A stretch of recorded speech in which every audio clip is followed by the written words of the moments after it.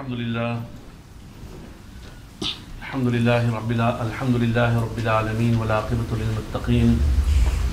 والصلاة والسلام على سيد الرسل وخاتم الأنبياء والمرسلين وعلى آله الأصفياء وأصحابه الأتقياء. أما بعد فأعوذ بالله من الشيطان الرجيم. بسم الله الرحمن الرحيم. يا أيها الناس اتقوا ربكم الذي خلقكم من نفس واحدة وخلق منها زوجها وبث منهما رجالا كثيرا ونساء واتقوا الله الذي تساءلون به والأرحام إن الله كان عليكم رقيبا صدق الله العظيم All praise for Allah subhanahu wa ta'ala. We praise Him, we thank Him, we glorify Him. We bear witness and we testify that none is worthy of worship except Allah. We bear witness and we testify that Muhammad sallallahu alayhi wasallam is Allah's servant and last messenger. Whomsoever Allah guides can never be misguided, and whomsoever Allah allows to go astray can never, never, ever be brought back to guidance. My brothers, sisters, respected elders, and youngsters in Islam, first and foremost, let us have the taqwa of Allah. Let us have the consciousness of Allah subhanahu wa ta'ala. Let us all fear Allah the way He deserves to be feared. And let us not die except in the state of Islam, except in the state of submission. My brothers and sisters, today on this important and blessed day of Jum'ah, let us reflect upon two things, or let us ask ourselves uh, two questions. Number one, what has Allah subhanahu wa ta'ala done for us? What has Islam done for us? Remember the ni'mah and the blessings of Allah subhanahu wa ta'ala, the blessings of Islam. Allah subhanahu wa ta'ala, He addresses Banu Israel in the Quran. And Allah subhanahu wa ta'ala reminds them of His blessings that He bestowed upon them. يا بني إسرائيل اذكروا نعمتي التي أنعمت عليكم That O Banu Israel, remember the blessings that I have bestowed upon you. If you look at the Quran and if you read and study the Quran from beginning till end, you will find mention many blessings that Allah bestowed upon Banu Israel. And so Allah reminds them because if they forget, they would become ungrateful to Allah subhanahu wa ta'ala. So we should also remember the blessings of Allah subhanahu wa ta'ala because if we forget, we become ungrateful to Allah subhanahu wa ta'ala. Allah subhanahu wa ta'ala has blessed us in so many ways that we can we can't even count those blessings. Allah says in the Quran, وَإِن تَعُدُّوا نِعْمَةَ اللَّهِ لَا تُحْصُوهَا that if you start counting the blessings of Allah, you will never be able to do so. Allah has guided us to Islam. That's one of the greatest ni'mah of Allah subhanahu wa ta'ala. Most of us sitting here, we were born in a Muslim home. That's the ni'mah of Allah subhanahu wa ta'ala. Many, they converted to Islam, they reverted to Islam. They were non-Muslims, non-believers. They entered into Islam. That's the ni'mah, the blessing of Allah subhanahu wa ta'ala. We have Muslim spouses. That's the ni'mah of Allah subhanahu wa ta'ala. We have good, obedient Muslim children. That's the ni'mah of Allah subhanahu wa ta'ala. So, اذكروا نعمة الله عليكم. Remember Allah's blessings upon you. Many, you know, they were addicted to drugs. They used to drink. They used to gamble. Then Allah subhanahu wa ta'ala guided them. Like who they look, look, look at the way, look at the life they lived before, and look at the life that they are living now. Right? This is the ni'mah of Allah subhanahu wa ta'ala. Allah subhanahu wa ta'ala cleaned them up. And Allah subhanahu wa ta'ala put them in front of the whole world as an example of righteousness, whereas before they were unrighteous. So أذكر نعمة الله عليكم. Remember Allah's blessings upon you. That's number one. And number two, ask ourselves that what have we done for Allah subhanahu wa ta'ala? We know what Allah has done for us. But what have we done for Allah subhanahu wa ta'ala? You see, my brothers and sisters, Allah says in the Quran, كل نفس ذائقة الموت that every soul shall taste the taste of death. Millions and millions of people, billions of people, they came into this world, they lived their life, they died, and they are buried. And we're no different. Right? We may die tonight, maybe tomorrow, maybe next week, maybe next month, maybe next year.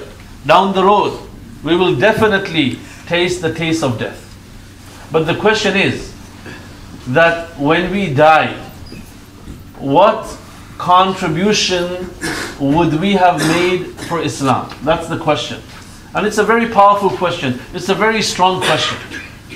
What contribution would we have made for Islam?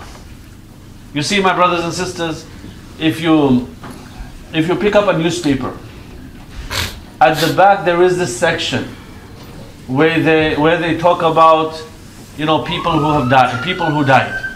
They give a small biographical sketch of those people who died, who this person was, when was he born, when did he die, what did he do in his life, what were his goals and ambitions, did he live to fulfill his goals and ambitions or not? They give small script description of that person. Now the question is that when we die, what will people write about us? Will they write something good about us? Or will they write something bad about us? That's the question. That's the question. And you see, when you look at uh, people around us, as an example, when you look at the Christians, who do they love the most? The- if you ask them that who, who do you love the most, they would say we, will, we love Isa alayhi salam, Jesus. And there's no question about that. They love Isa alayhi salam. And it is in this love of theirs that they go into extreme and they consider Isa alayhi salam to be the son of God. And that is wrong, of course, that's shirk. But the bottom line is that they love Isa alayhi salatu wassalam, right? If you ask the Jews that who do you love the most? What are they going to say? Musa alayhi salatu wassalam, right? They would say that he is our prophet, we love him more than anyone else, right? And they have love for Musa alayhi salatu wassalam, right? And if we ask, if people ask us Muslims that who do you love the most, what are we going to say? Rasulullah sallallahu alayhi wasallam. He is the beloved of Allah subhanahu wa ta'ala. He is the final prophet. It is He who will intercede for us. We love Him more than anyone else. And this is why when His name is mentioned, when His name is mentioned, what do we, what do we say? We say sallallahu alayhi wasallam. It is because of our love for Rasulullah sallallahu alayhi wasallam. Right? And Allah subhanahu wa ta'ala mentions these prophets in the Quran. Rasulullah sallallahu alayhi wasallam is mentioned. Isa alayhi salatu wasalam is mentioned in many places. And Musa alayhi salatu wasalam is one of the most mentioned prophet in the Quran. Right? Allah mentions these prophets in the Quran. And when Allah mentions them, we remember them. And when we remember them, Allah subhanahu wa ta'ala keeps us alive in our memory. Right? The question is, why do Allah subhanahu wa ta'ala mention them in the Quran? And why is it that we remember them? Right? And we speak highly of them and we respect them. It's because of their contribution. It's because of what they have done for Allah subhanahu wa ta'ala. It's because of what they have done for, human, for humanity. Right? They are the ones who brought the message of Allah subhanahu wa ta'ala to people, to humanity. And this is one of the greatest ni'mah, the favor of Allah subhanahu wa ta'ala upon us. Right? And so uh, we remember them because Allah mentions them. When Allah mentions them, we remember them. When we remember them, Allah keeps them alive in our memory. You see, my brothers and sisters, as Muslims, we don't have to be rich to make contribution. We don't have to be rich to make contribution. We can be extremely poor. We can be really poor. Yet we can make significant amount of contribution. It's not only what it's not only money that matters. No. We can make a significant amount of contribution even though we can be extremely poor, we can be really poor. And I give you an example. I give you an example. A man came to Rasulullah sallallahu alaihi wasallam by the name of Abdul Shams. He came to Rasulullah sallallahu and he said, "O Muhammad sallallahu alaihi wasallam, I want to become Muslim. I want to enter into the fold of Islam." His name was Abdul Shams.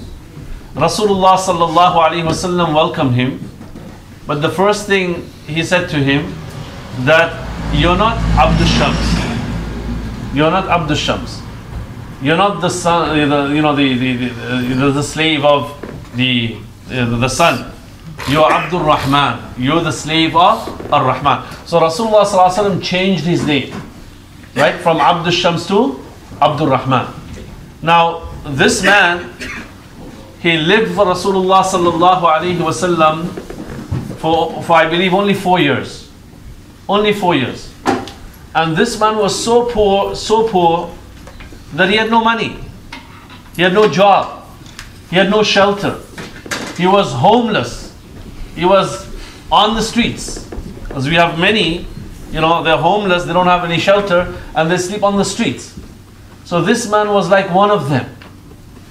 And he was so poor, so poor, that sometimes he would go to other Sahaba, other companions, asking them something about the Quran, hoping that they would take him home and feed him. Because he was, you know, he, he was he was so poor, he didn't even have uh, money for, for food. Right? But this man, he was from Ahlul Sufa. He was from the people of Sufa. You know, if you go in the Prophet's mosque, at the, at the back, there is this section where the homeless people stay. Right? People who had no family, people who had no shelter, those who dedicated their lives for learning about Islam, they remain in the masjid and they benefited from the presence of Rasulullah sallallahu alaihi wasallam. So these are Ahlus Sufa, the people of Sufa. And according to one narration, there were approximately 90 of them. And Abdul Rahman was one of them. He was one of them. He was, he was poor, he had no money, no shelter, no, no food, nothing. And he depended on the sadaqah of people. People would give sadaqah and he would survive. Right? Now, this man, as I said, he was from Ahlul Sufa, but this man, he dedicated his life for learning about Islam. He would remain with Rasulullah all the time. Right? Whenever the Prophet would travel, he would travel with him. Right? Whenever the Prophet was in the masjid, he was with him. He was with Rasulullah, you can say 24 7, all the time. And he would memorize from Rasulullah. Whatever the Prophet, Prophet would say, he would remember it, he would memorize it. Right? Today, my brothers and sisters, we don't know him by the name of Abdul Rahman. Right? But we know him by the name of Abu Hurairah radiallahu anhu. Right? This Sahabi Abu Hurairah, he goes on to mention over 3,500 ahadith of Rasulullah Right? How many times we come across his name and we say عن أبي هريرة رضي الله عنه قال قال رسول الله صلى الله عليه وسلم How many times we mention his name and every time when we mention his name what do we say? We say رضي الله عنه May Allah be pleased with him Right? Not only him but with all the companions of Rasulullah whenever the names are mentioned, we say radiyallahu anhum, may Allah be pleased with them. Why is it? It's because of the contribution. Why? It's because of what they have done for Islam. It's because the, the, this important role that they have played in the propagation of Islam. Look at the likes of Imam Bukhari rahimahullah. Look at the likes of Imam Muslim rahimahullah. Imam al-Tirmidhi, Imam al-Nasai, all these great ulama of Islam, right? We remember them and we pray for them. It's because of their contribution It's because of what they have done. So you don't have to be rich to make contribution. You can be extremely poor, yet you can make significant amount of contribution. You know, if you look at the ahadith of Rasulullah you find that in the Prophet sallallahu time there was this woman who's mentioned in ahadith as imra'atun sauda, as an African woman. And you know what she used to do? She used to uh, sweep the floor of Masjid al-Nabawi. Right? She used to clean Masjid al-Nabawi. And you know, one, uh, uh, you know, after some time when she passed away, she passed away in the middle of the night. She passed away in the middle of the night.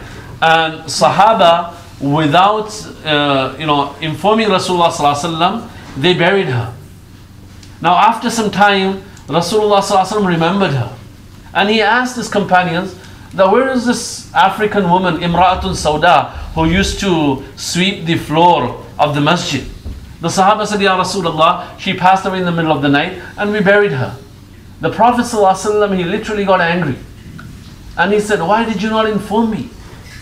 And the Prophet ﷺ, he, he himself, he went and he stood at her grave and he made dua for her. He made dua for her. Now, why did he make dua for her? Right? It's because of her contribution. It's because of what she used to do in Masjid al-Nabawi. You know, clean the floor of Masjid al-Nabawi, sweep the floor of Masjid al-Nabawi.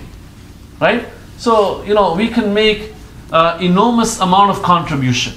Right? Many a times, you know, we, we come into the masjid, we come in, we go out, we don't really get our hands going. Right? And mashallah, there are some people in the community, you see them, they are always in the masjid. Right? They would do anything for the masjid. You call them in the middle of the night, right? They'll pick up the phone. You, you pick up the phone, you call them, they will answer, they will come, they will do whatever they can. Right? So let's learn to contribute. We know what Allah subhanahu wa ta'ala has done for Islam, but what have we done for the deen of Allah subhanahu wa ta'ala? Many of us, you know, we know how to read Arabic, how to write Arabic, right? Why don't we teach somebody how to read or write Arabic? We have different skills, right? And why not teach others? It will serve as a sadaqah jariyah. And I complete with this hadith. There's a hadith, again it's mentioned by Abu Hurairah radiallahu anhu The, the Sahabi that we just spoke about.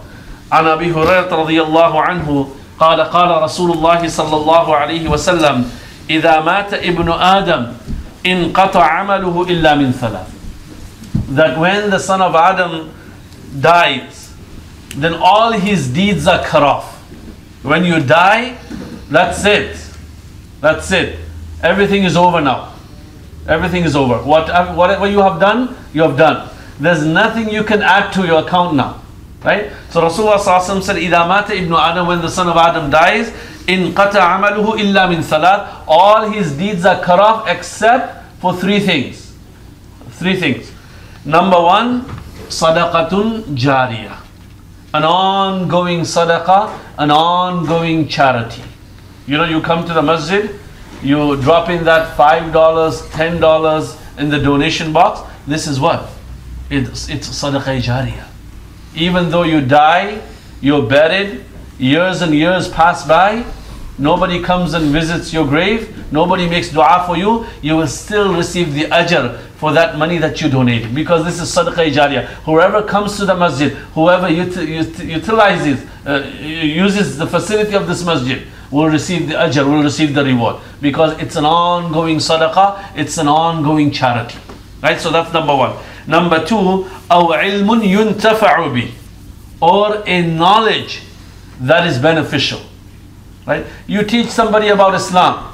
The person, you know, he listens to you, he puts it in, puts that into his amal, into his practice, and he, you know, he, he, he, he carries it to others. Right? This is what? It's sadaqah jariyah. You write a book about Islam.